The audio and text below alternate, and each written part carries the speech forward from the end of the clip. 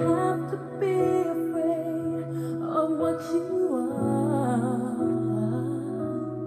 There's an answer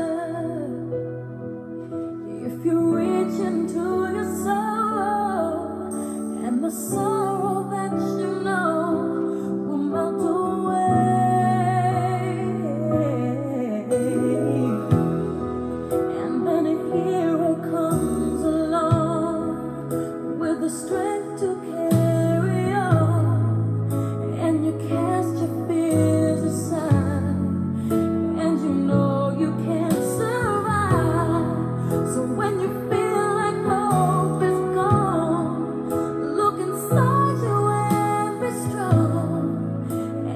find